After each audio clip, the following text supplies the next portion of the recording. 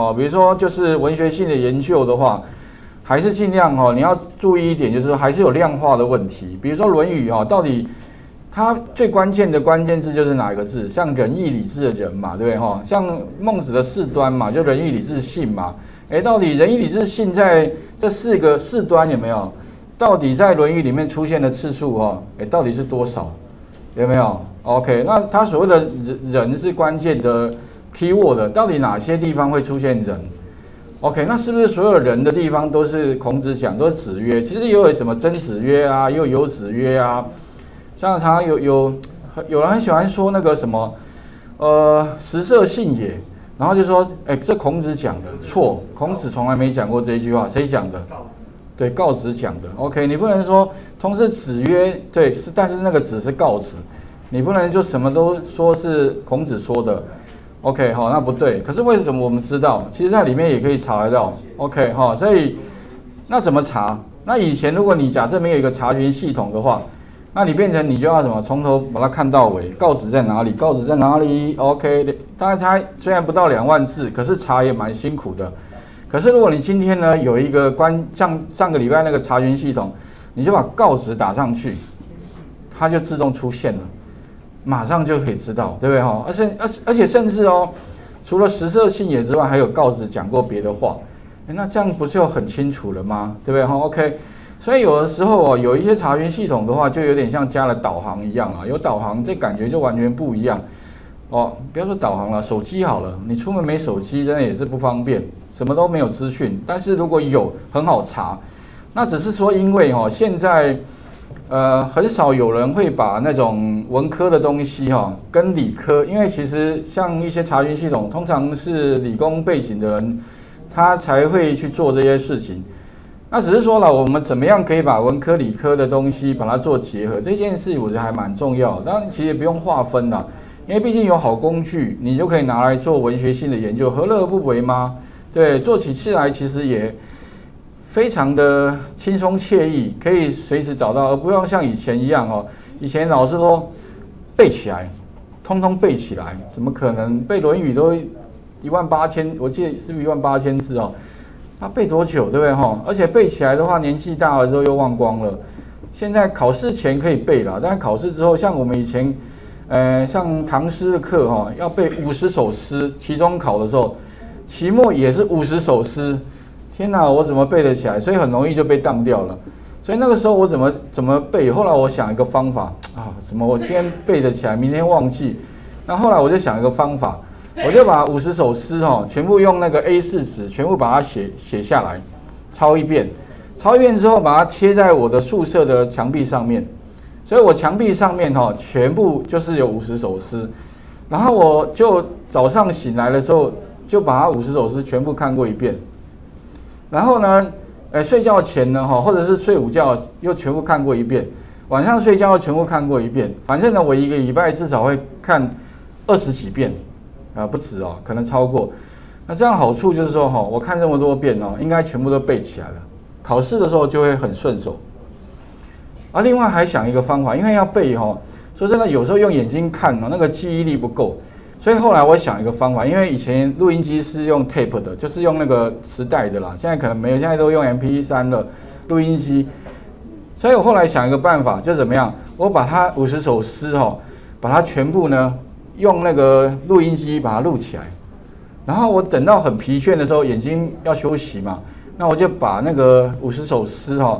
我念的啊，全部把它再放一遍，用耳朵加强我的记忆力。哎，后来我发现呢，考试的时候真的太棒了，感觉好像考试的时候旁边有人告诉我那一首诗要怎么背，哇，如有神助哎，哎，这个方法真的很不错哦。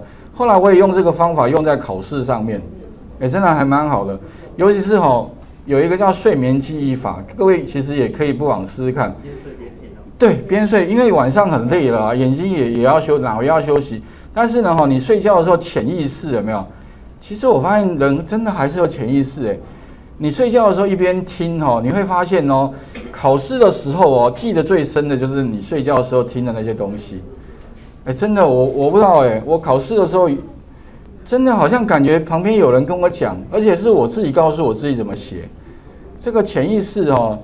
真的可以不妨可以试试看哈。OK，那接下来的话，我们要把那个这个资料哈做一个转换哦，所以特别注意哦。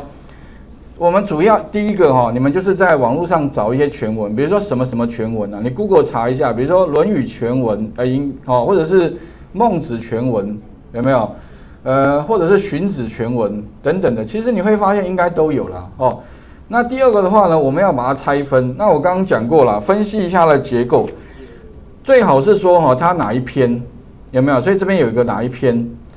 第二个是哪一段？哎，这个哪一段在这里？哪一篇哪一段？啊，内文在这里。所以哦，最后其实我希望把这个资料变成什么样子呢？其实你们可以看一下，基本上最好是长这样，就是哎，第一个是哪一篇放在第一栏，第二个是哪一段放在第二栏，第三个它的内文就是它的那一段的文章哦，OK 就放在后面。那这样有什么好处？就是我查完之后我就知道说哦。这一段它里面有这个关键字，它是在哪一篇的哪一段出现过？那这样我就可以回溯一下，知道说在哪个地方出现了。OK 哈，所以呢，那我要怎么样哈？哎，可以做到这一点。所以第一个啊，请各位把刚刚这个《论语》全文也许连啊，当然如果你有别的地方有找到其他的也 OK 啦。只是说我发现其他的地方好像没有这么方便。刮胡里面它有放这个东西，好，那把它 Ctrl C。选选起来，Ctrl C 之后呢，把它贴到 Word 里面，贴 Ctrl V 贴上。那贴之后特别注意哦，因为它贴上之后会把格式带过来，所以呢，你可以看到在它的右下角会有一个叫智慧标签。那我是建议哦，你可以把这个智慧标签点一下，把它改成只有值。值的话就是说这个啦，哎，有没有？它右下角有个 A 啦。那这个有一个 A 哈，表示说哦，我不要格式，我只要它里面的文字部分带过来就可以了。好，那你把它点一下，好，那你会发现这个第一个就 OK 了。那第二个的话呢，哈，我需要把它切割，可是切割的地方哈，应该怎么切比较 OK？那其实跟各位讲一下哈，诶，它的分割的话呢，有没有一些比较共通的部分呢？可以拿来做切割？那我们需要做那个分隔符号，那分隔符号的话，有点代表那个栏跟这第一栏、第二栏、第三栏、第四栏的意思啦。啊，我这边想一个办法，当然你们也可以想别的方法，反正最后哈，就是可以做切割。所以我这边有一个示意图哦，哎，就是这个地方，我看到有一些规则，比如说哈，我希望在我怎么要怎么分，这个是第一栏，这个是第二栏，这个是第三栏。这个是第四栏，哎，那我切割的话，哈，其实可以这样，你可以用取代的方法，比如说这边有个点，对不对？那这个点的话，我因为将来我如果用这个来切割的话，那会变成说只有这个这个跟这个切，那这个，哎，这个这个会这个变成会跟前面会混在一起，所以我可以这样啊，先把这个选起来，Ctrl C 好了哈，因为 Ctrl 啊再 Ctrl H，Ctrl H 就取代。那或者是你可以从这边哈，Ctrl H 实际上就是常用里面的这边有一个叫什么，呃，取代在这里有没有？取代就这个东西，或者你可以记一下 Ctrl H，因为比较常用，我是建议你可以把它记一下。Ctrl C，Ctrl H，那你会发现这边就带过来，这个点先把它变成小老鼠好了。哦，为什么要变小老鼠？因为其实这个小老鼠符号就是将来我们要做分割的符号，那这个符号应该不会有别的地方有。所以用这个，当然你说老师，我可不可以用别的符号？可以，只要不要在别的地方会重复出现就 OK 了。好，那把它先 OK。所以第一个分隔符号了，所以它这个跟这个可以分，但是这一个地方有没有？这个也可以跟这个分了哈。那只是说这个地方呢，哎，那应该我也要把它分开来。所以这边的话，那有没有一个共同特征，不会跟别的地方一样？应该我看，哎。要不就是后刮弧了，不过我发现哈，可能有一个状况，就是这个后刮弧前有些地方前面不见得是后引号，啊，怎么办呢？没关系啊，反正我们就先这样，先把这个哈一样 Ctrl C，然后 Ctrl H，把这个哈取代把它贴过来好了哈。那把这个取代成什么呢？取代成就是加一个分隔符号好了。那分隔符号就是把这个变成像这样子。那这样的话，将来它会在这边把帮我切开来。哎，不对，那这个刮胡哦，变成会那刮胡应该不要，因为将来我不需要这个刮胡，所以这个刮胡可以拿掉，也就是把这个引号加上这个刮胡，将来变成哈，这个就一个这个小老鼠，就是它分开来。那我要取得就是哪一篇的哪一哪一一个段哦，然后前面是内文，好按全部取代。好，那接下来的话哈，可能还会有一些漏网之鱼，什么漏网之鱼？就是底下应该我我用 Ctrl F 好了，好寻找什么了？Ctrl F 这边会出现那个寻找你寻找前刮弧看看，刚刚应该有那个前前刮弧应该是全文呃全形的，所以我把它改成这个全形的看看全形哎，看一下全呃全形的那个这个全形的刮弧哦，看一下有没有漏掉的。那你们可以再看一下啊，寻找一下。往下有没有？哎，有这边有，往上，哎，上面这边也有，也就是说底下应该也有一些漏掉的。那这个漏掉没办法切，没没有切割到哦，所以也要把它补一下。所以也许这个啦，干脆就把这个这个前刮弧哦，一样再 Ctrl H，然后怎么样把它改成什么？改成小老鼠就可以了哦，不然的话会有漏掉，因为有些地方它没有后引后引号了，所以全部取代一下。哎，五十个好，那理论上应该就 OK 了哈。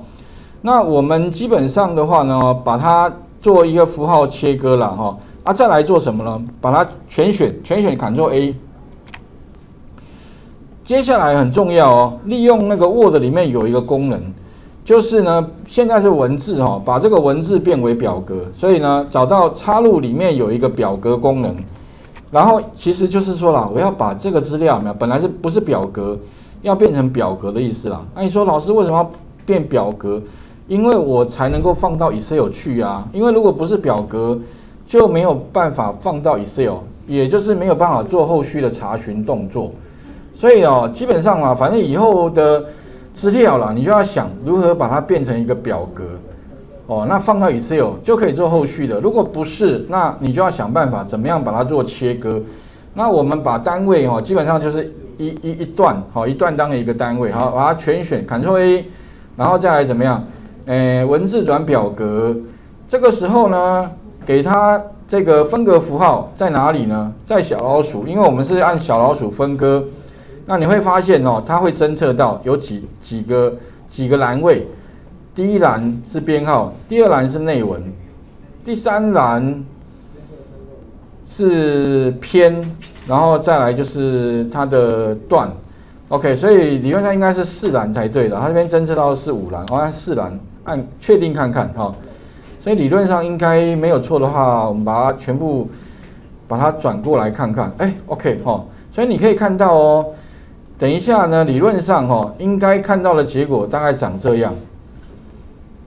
好，那接下来的话呢哈，你会想说，老师那这些怎么办？空白没关系，等下排序之后。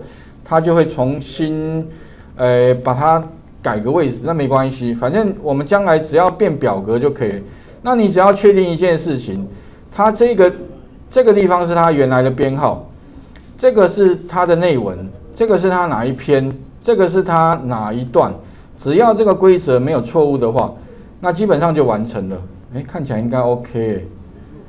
好啊，还有最后一个动作了，最后如果转完之后哈。诶，等于是这边后刮弧哦，这个多余的，所以我们可以怎么样？把这个 Ctrl C，然后 Ctrl H，Ctrl H 就取代，把这个后刮弧把它拿掉，因为我们后面其实不希望它有后刮弧，所以再把这个后刮弧啊取代为什么？没有东西。那没有东西按全部取代的意思哦，诶，就是全部清掉的意思啊。这个变成没有，全部取代。那这样的话呢？它会从头帮我全部取代，总共取代了五百零三笔。那看一下，理论应该是 OK 的。好啦，没问题的话，哈，看起来好像 OK 的。好，那再把它怎么样？全选，全选，记得哦，一定要点这个表格的左上角这边，这样才是选表格。你这个地方不要 Ctrl A 哦，Ctrl A 是选文件，不行，一定要选什么？选这个表格这里。啊，记得表格。的左上角点一下，表示把这个表格全选，然后再 Ctrl C，Ctrl C 之后呢，关键的地方来了，你在开启 Excel，好一个空白的文件，把它 Ctrl V 贴上就可以了。那理论上应该哈，如果没有错误的话，那各位可以看到这个就是最后的结果了。然后 OK 好啊，当然你可以把它把这个调一下啦。那第一步，我们请各位先试试看好了，贴过来，待会我们再来看。我再把重点回顾一下哦。诶，Ctrl Z 把它恢复一下。所以我刚刚做的哈步骤哈，第一步是把它贴过来，有没有？第二步的话呢，我是把这个点有没有取代成哦，取代成小老鼠。那再来我是把什么？把这这一个这个哈取代成什么？取代成小老鼠。这个后引号加后刮弧，然后再把什么后刮弧？哎，所以哦，有没有后引号这个后？哎，所以其实我干脆把那个前刮弧改成。干脆把前刮弧整个取代成小老鼠，好像就好了。哎，好像更简单哦。你们可以试试看哦。好，那再来的话就是什么？插入那个表格。哦，OK，哎，OK。然后呢，就可以得到我们要的最后的结果啊。最后我是有把这个后刮弧拿掉了哈。那请各位先试试看哈。反正就是先把一个，诶，不是表格的文字。转换成有规则性的表格资料，哈，试试看哦。